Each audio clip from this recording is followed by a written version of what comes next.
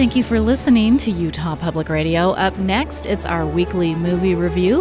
Here's our film critic, Casey T. Allen. Everybody knows the horror or thriller genre is a popular one with movie watchers. The promise of something frightening or intense can get lots of people out of their homes and into the theater. But why do so many of them have to center around women screaming, crying, and fighting for their lives? The latest release from the popular A24 studio is Heretic, about a pair of female Mormon missionaries who knock on the door of an ordinary house and gradually get lured into a deadly game. Young actresses Sophie Thatcher and Chloe East play the plucky missionaries. One of them is sheltered and naive, while the other is cautious and discerning.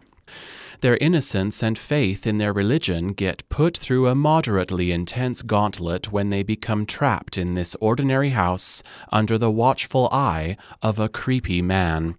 This creeper is played with a simmering excellence by Hugh Grant, and he's totally the star of this theological thriller.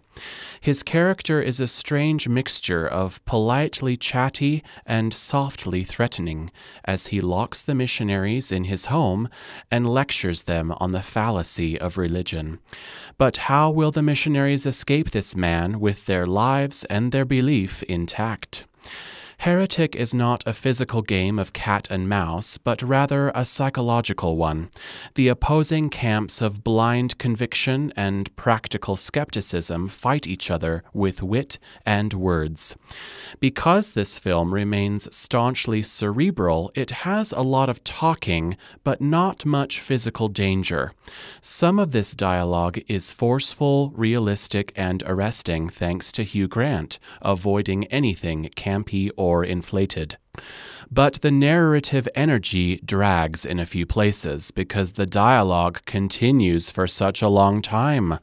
So many times while watching this, I thought, okay, something scary is about to happen. Oh, wait, there's more talking about Jesus. Hmm, okay. But now I bet something will happen. Oh, I'm wrong. Now there's a history lecture on the Monopoly board game. Going through this thought process did not keep me on the edge of my seat, even when the missionaries start using matches and a letter opener to fight for their escape. I left the theater feeling mostly surprised with this one because it doesn't feel as creative or as unbridled as many other A24 films are. And with so many other films released this year showing young women being victimized, I think my brain is getting tired of this idea. Some of these films include MaXXXine, Blink Twice, Apartment 7A, Cuckoo, and Woman of the Hour. Some of the conversations are interesting on the importance of belief, but Heretic doesn't quite have enough energy to keep viewers in its clutches. For Flicks at 48, I'm Casey T. Allen.